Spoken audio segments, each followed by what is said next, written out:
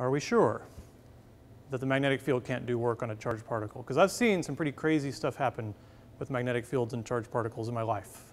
And it's a little bit hard to believe that no work is being done. For example, the first way it gets a little bit more complicated is let's have the B field go to the right. Okay, B field that way. Let's put a charged particle in here, Q, and give it a velocity. Let's be crazy and not make it perpendicular to B. Ooh, okay, let's make it be like that. Well, then it's going to have a component forward, call it Vx, and a component up, call it Vy. All right, so Vy is what wants to make it go in a circle. So let's see, uh, V cross B in, the force would be in. And of course that force's direction will change. That's going to make it want to spiral like this, or go in a circle like this. What about this component? The Vx is just going to drift. So a charged particle in a magnetic field actually usually makes a spiral. It'll kind of do something like that. Okay? But still, there's no work being done. All right? In the plane, it's just going in a circle. There's no work being done as it goes in a circle. It's going at the same speed. In this direction, Vx is constant. If you calculate the total velocity as it goes around this spiral, the speed is not changing. So no work is being done. What if you'd make a magnetic bottle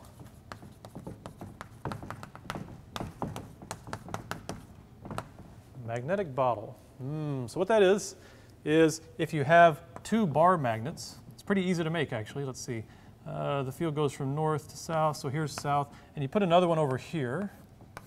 This wouldn't make a very good one, but you could make it this way. So the field lines want to go from north to south, but if you get these really close, like that, it'll go from north to south, and then instead of going around, it'll kind of go like that, and like that. And you'll get this case where you have a non-uniform field.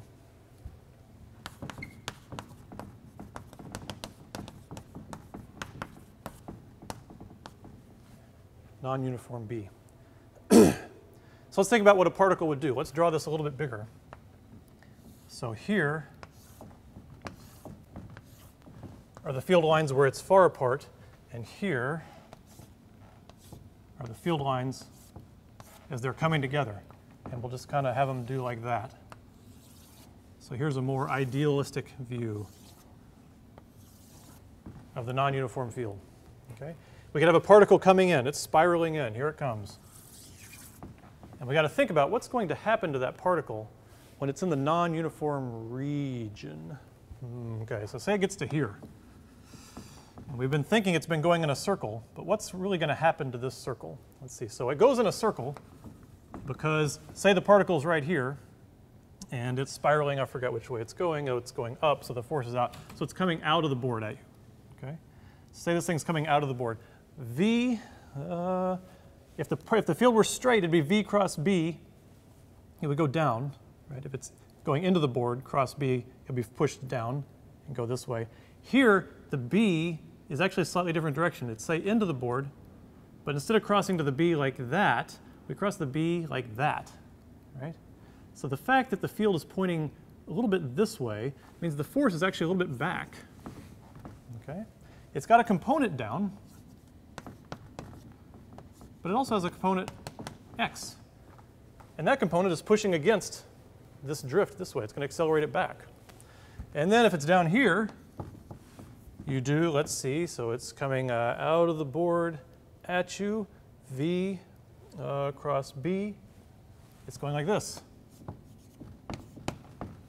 So the fact that the field is non-uniform as it goes around the circle makes it keep going in a circle in terms of its y force but it pushes it back. Okay?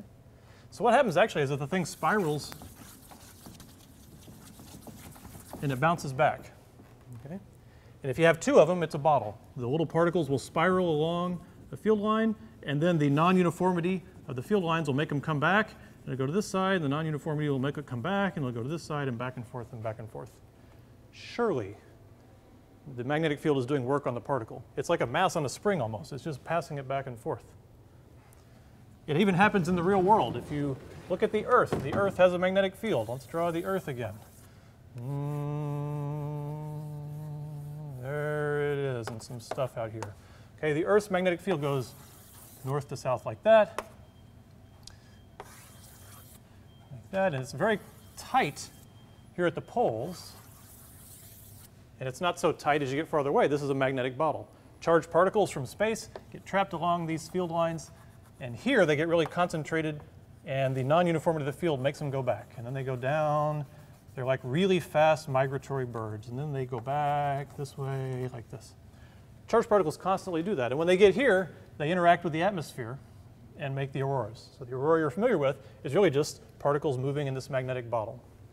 So it definitely happens, but in the whole process, it's not doing, the magnetic field's not doing any work on the particle. The speed of the particle in this entire complicated trajectory is constant. Now you may say, how could it be constant? Because you're changing the x, right? So this velocity in the x went away, but the velocity around the circle speeds up. It all works out in the end that the speed of this entire process is constant. It doesn't spiral around here and come to a stop and then speed back up. It actually speeds up as it goes through the really tight part to keep the speed through the whole process constant. So the bottom line is a static B field never does work on a free charge particle. It just can't. It can't. It can't because it always pushes. Its force is always at right angles to the velocity. It just physically can't do work.